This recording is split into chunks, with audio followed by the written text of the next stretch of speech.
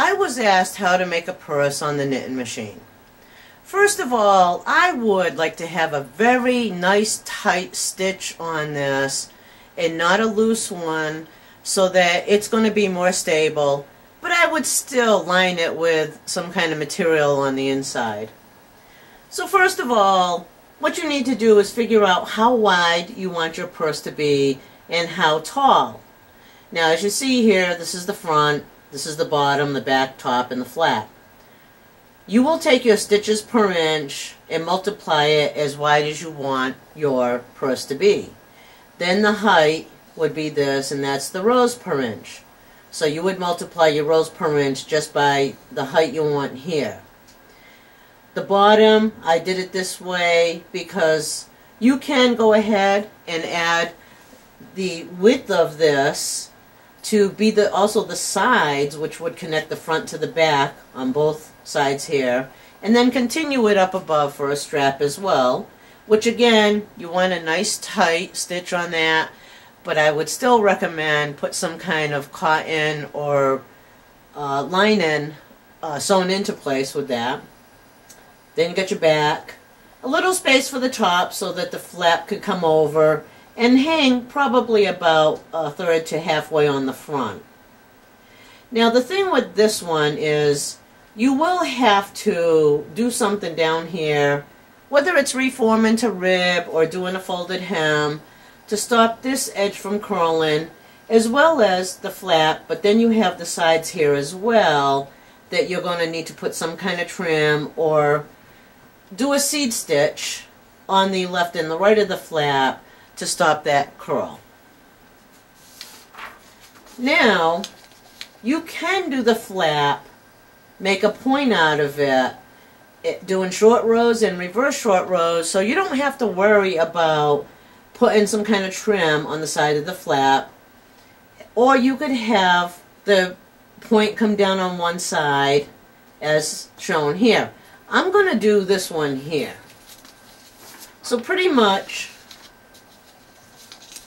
this is how I am going to knit my bag. But I'm going to do a little different on the bottom and the top because I'm going to do an I-cord to make the strap for this purse. And you'll see what I do with that at the end. And the same up here at the top, I'm going to be doing some short rows to give it fullness in the middle, but keep the stitches the same on the sides. I'm pretty much going to be just winging this pattern without measuring. Uh, I do have 50 stitches. I E-wrap cast on knitted one row to the left. I set my carriage to hold so that I'm going to be doing the short rows for the flap here. I'm starting from the flap and I'm going to work my way down through the top, the back, the bottom, and the front. And at the end of the front, I will have to do something there to stop the curling. So until I could get regular weights on, I do have my little two teeth claw weights on the ends here. I have my, I don't know if you could see it, well I have my side lever forward to the circle and I have my front brushes down because with the Studio Singer machines, this will knit like this with no problem.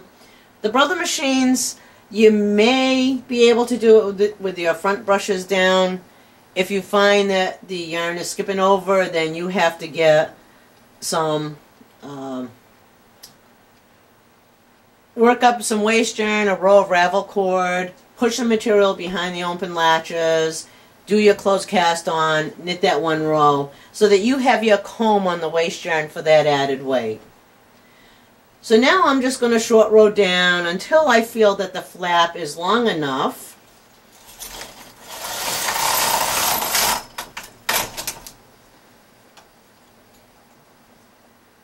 and a stitch drop there, which happens sometimes. So now I just need to get that stitch, and it actually didn't knit because I see the loop there. So I get the, the stitch on the hook, I grab the yarn above to put it on that hook and hand knit it back.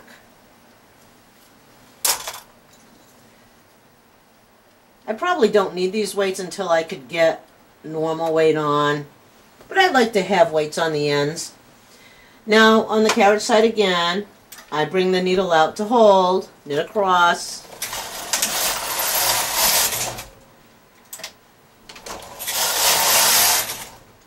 and I'll do that till actually if I want to point on the flap like I have here I will work it down until I have two stitches in work then I will reverse short row back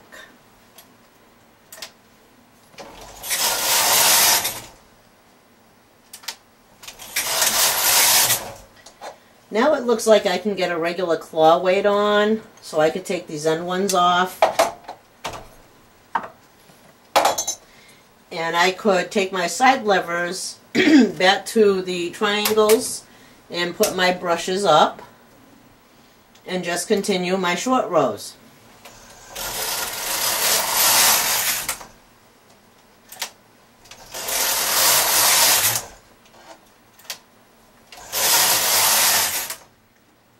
I finally got down to the two stitches. Now I want to reverse short row back so I'm going to take my yarn and manually wrap it under the first needle and hold in position on the side of the carriage. And then I bring the first needle over here to the forward working position, knit across.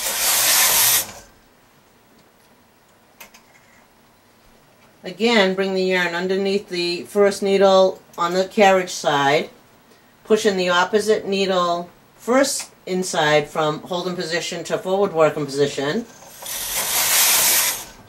That's the manual wrap. The automatic wrap, you do need to wrap that first needle. Then on the opposite side, because I need to bring one needle back into work, I actually add one more needle. So I bring two needles forward or backward, knit across, Push the last needle knitted to hold in position.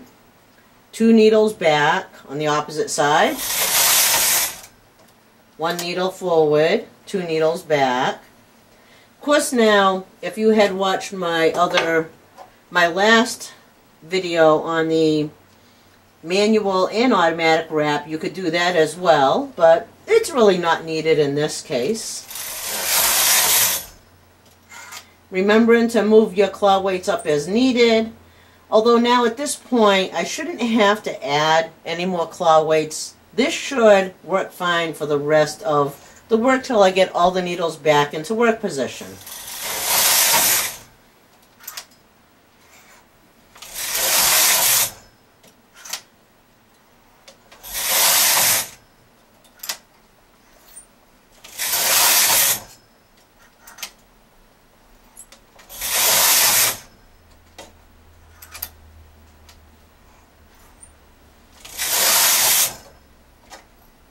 If you find they're not knitting properly, then yes, you will need to get another claw weight on. And you may have to move it up as you are working your way back on the reverse short rows here.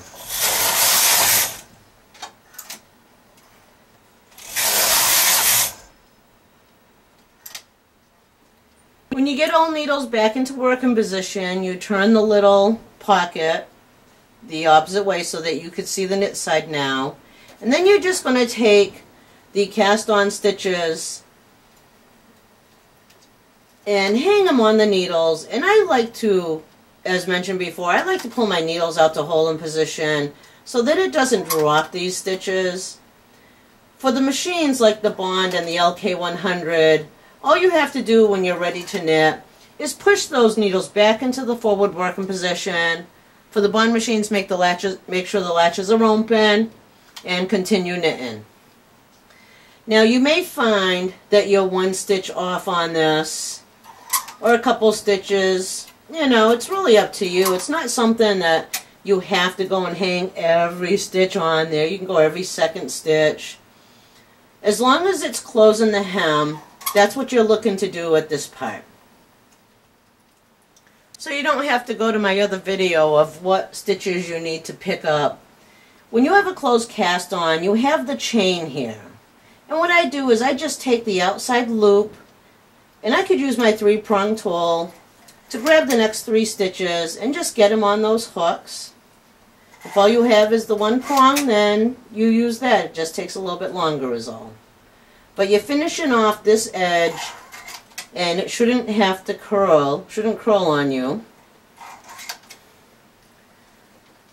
So this is one less step to do in the end if you uh, were to have a plain knit up and down instead of reforming to rib or um, actually instead of reforming to rib if you did a folded hem it would be like this except for it would be flat instead of to the point uh, the other thing is you may want to put a buttonhole near the end here so what you have to do is so many rows before the end say I had okay six stitches then I would transfer one stitch over to make that buttonhole when I did the reverse short row, when I was back to the six stitches, I would move that same stitch over, and then I would bind that off to complete that buttonhole in the end. Next, I need to do the little top here. Now, it doesn't really have to be too wide, but it's really up to you. So first of all, I have my counter set. Uh, actually, I don't need the counter really because you'll see. So I knit, oh, let me knit four rows first. And as you see, I do have my cast on comb with the weight on there.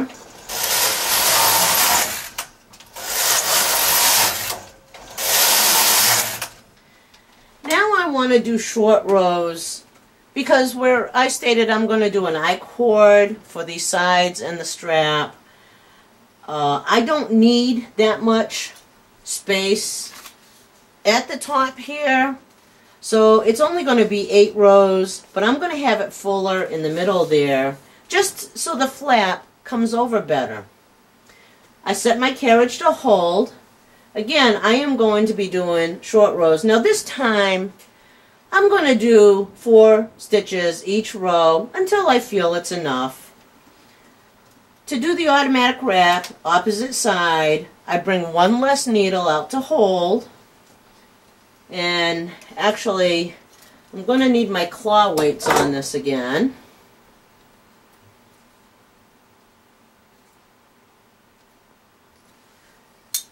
And maybe I got to use my two teeth prongs on this. So I knit across.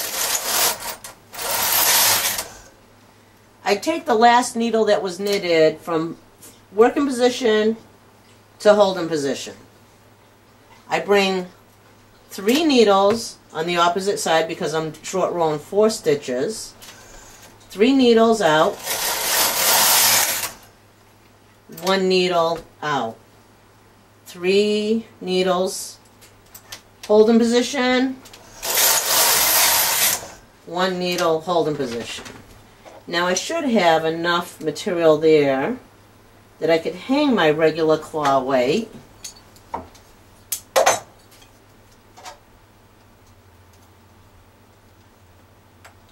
And I'm not going to do this completely as I did with the point of the flap.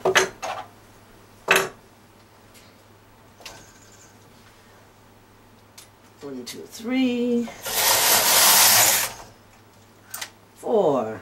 One, two, three, four. One, two, three, four.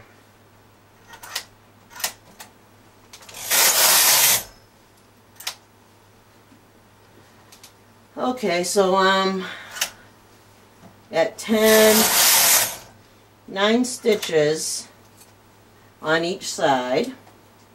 I'm sorry, I'm at needle 9 on each side. So now I brought that last needle in. In order to do four stitches, the next to reverse short row, I need to add one more needle. So now I bring five needles out to work, or forward working position, knit across, bring the last needle knitted to holding position. push five needles back. Last knitted stitch forward.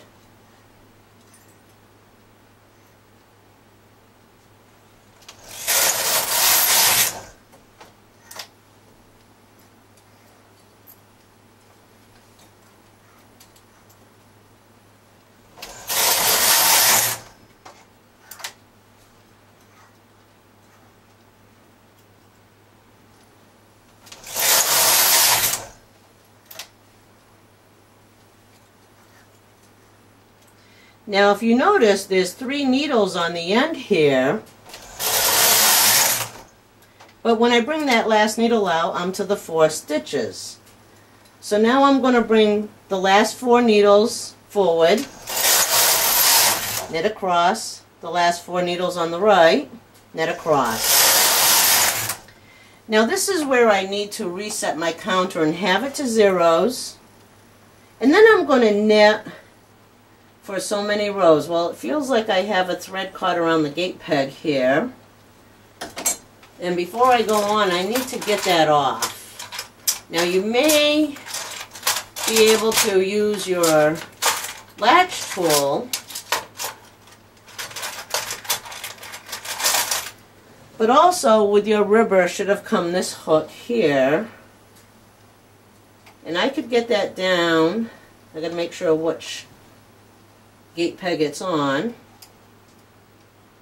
And as you see, it is pulling it there. Luckily, I caught it before it went too far. But even so, you could get it off the gate peg and it should pull itself right back together. And if not, then you just take some other yarn and weave it in to close up the hole. Next comes the back of the purse or the bag that you're working. And this is where you need to know how many rows you're working on this because you want the front to be the same. Now, this schematic is not accurate. As you see, this is smaller than the back. But you want to have the back and the front the same. The bottom is going to be work the same as the top, but you probably want to have more in there than just this little bit. So when I get to the bottom, see that little bit, when I get to the bottom, I'll probably short row three stitches each time for so many rows and then reverse short row again. So I have my counters reset to zeros. I'll do a few rows until I, I get plain stockinette stitch where I could hang my cast on comb again and then work till I feel that the height of the bag is what I want. As mentioned, if you want a certain height, this is where the rows per inch multiplied by the height will tell you how many rows you want to knit.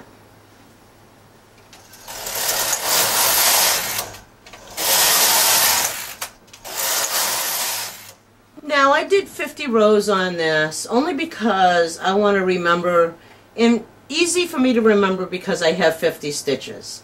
So when I do the front, I know I'm going to be doing 50 rows again.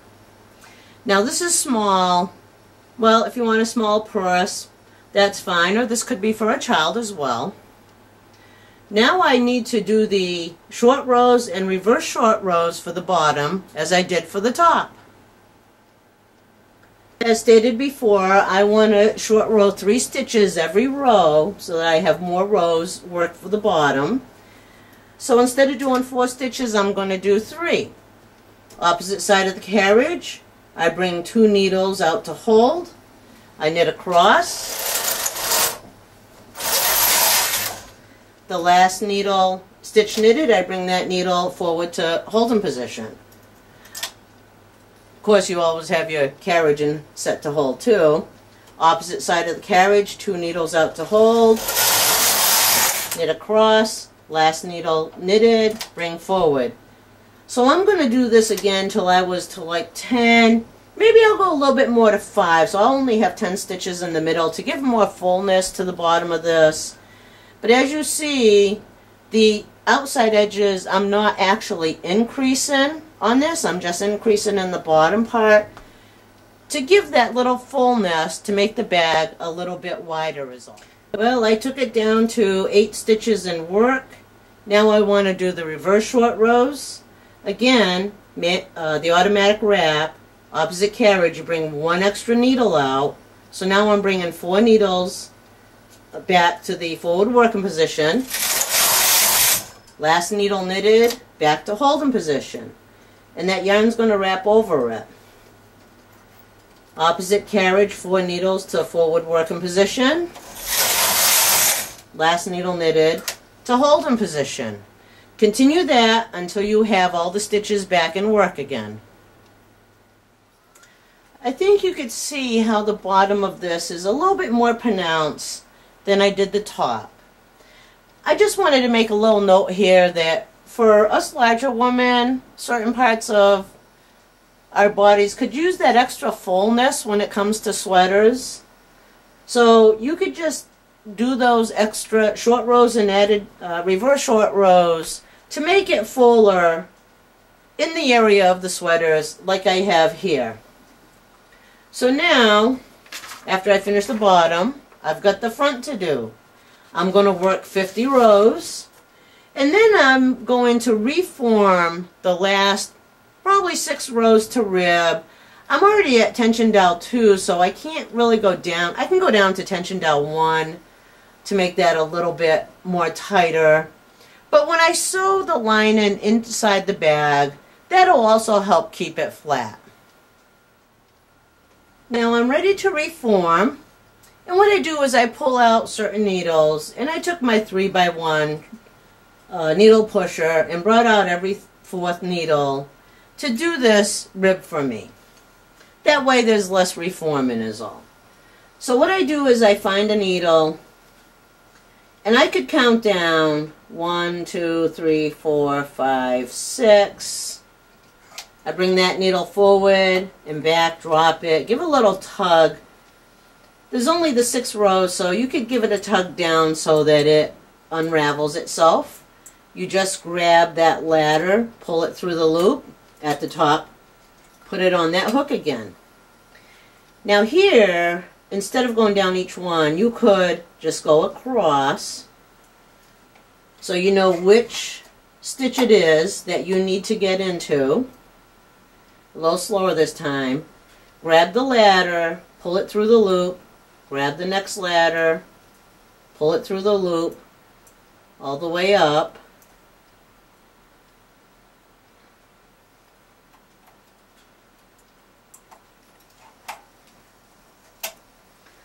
So let me finish this up and then I'll show you how I plan on doing the I-cord strap.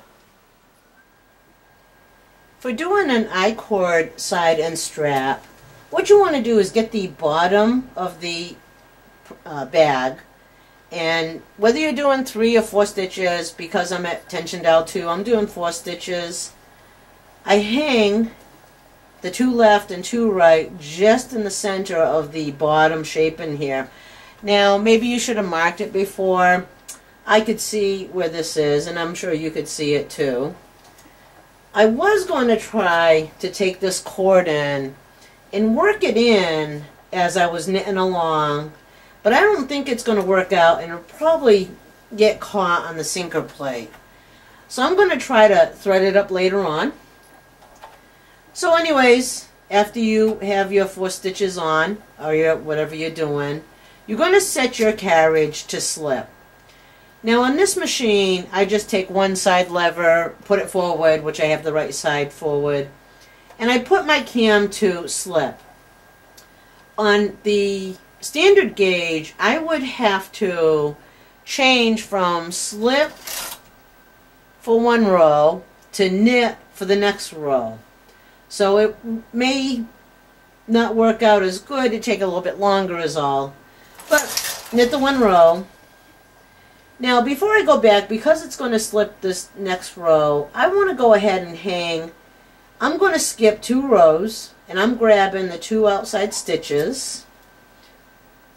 Now if you want to go for the knots, that's fine. You could go with the knots instead of the stitches. And I hang two on there to give it more stability. Now I knit two rows. As you see, it slips that row and it knitted this row. Well, because I wasn't holding it down, it didn't knit properly. Now I go ahead and find the next two stitches of the loops because they're easier to find. Hang them on the needles, hold the material down, knit two rows. If they don't knit, just hand knit those stitches as needed. Look real carefully, find the next set. Hang those on the end needles.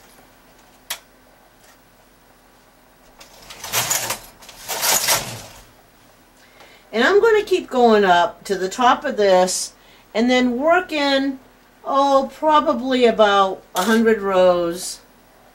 And I see this one didn't work, so I need to slip the needle forward. So just that one loop that should have been knitted is in the hook.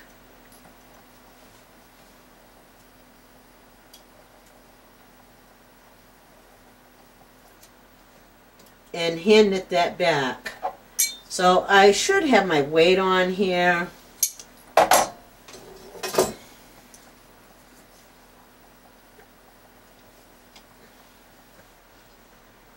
Again, taking the next stitches, two rows down, hanging on the outside hooks, and knit the two rows. Well, it's still not doing it. I think I have to get my claw weight on the back. Although I see a big hole here, so I believe I missed the, picked up the wrong one. I could go ahead, bring my needles forward to undo that last row.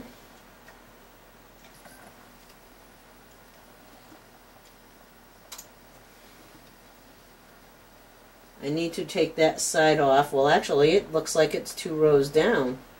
So I have to do yet another row to fix this.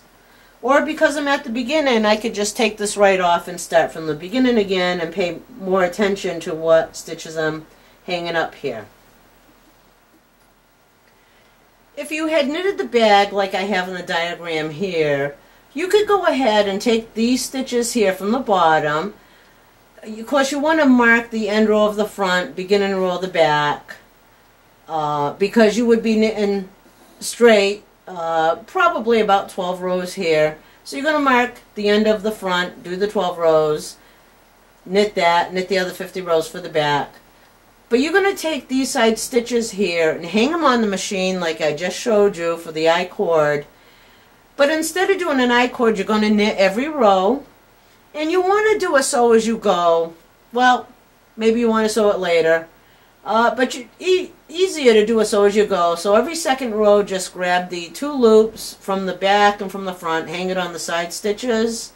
When you get up to the top here, you knit so many rows for the strap. And then when you go back down, you're going to do the same. And then you'll just have to sew or graft that in place is all.